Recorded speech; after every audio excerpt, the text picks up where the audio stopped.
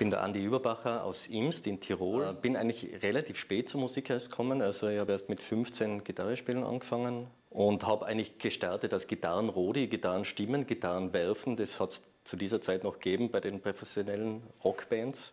Bin dann später auf München gegangen, Gitarre studieren, ins Münchner Gitarreninstitut, habe dort mein Diplomstudium gemacht und ich habe dann angefangen, äh, Lehramt zu studieren und bin mittlerweile Musik, in der Musikmittelschule in Imst tätig, also in meinem Hauptberufsfeld als Lehrer.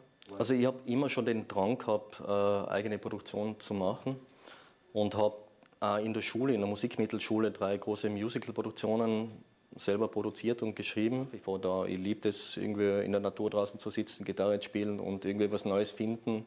Und da habe ich natürlich mit der Birgit eine kongeniale Partnerin, weil wir uns eigentlich immer an, wenn wir Songwriting betreiben, immer an wunderschönen Plätzen treffen, sei es in Irland oder in Oberösterreich oder in der Steiermark.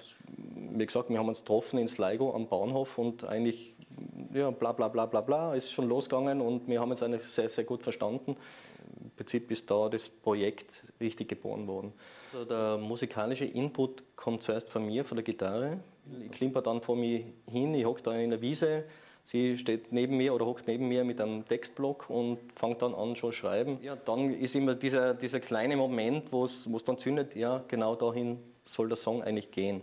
Das Ammonit Songs from Deep Inside ist das erste Album. Das heißt, die Gitarrenarbeit und Bass und Gesang haben wir bei mir aufgenommen und äh, Schlagzeug haben wir beim Freund im Studio in Telfs aufgenommen, beim Thomas Tschuknal.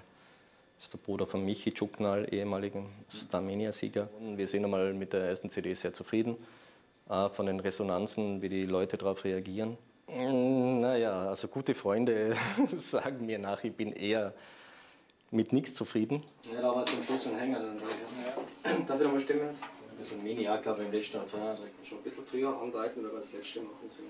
Die erste Strophen habe ich verguckt. Äh, ich glaube, ich habe mich in den letzten Jahren schon entwickelt dahingehend, dass ich äh, schneller zufrieden bin. Ich habe das erste Album schon lange nicht mehr angehört, muss ich sagen. Also ich höre es hier und da in, in verschiedenen Radiosendern. Ist eigentlich eine runde Geschichte geworden. Für das erste Album müssen wir zufrieden sein. Und wir sind Gott sei Dank umgeben von äh, wirklich sehr, sehr tollen Musikern, die äh, menschlich absolut einen super Input geben. Und ich würde mir sehr wünschen, dass wir das nächste Album live einspielen.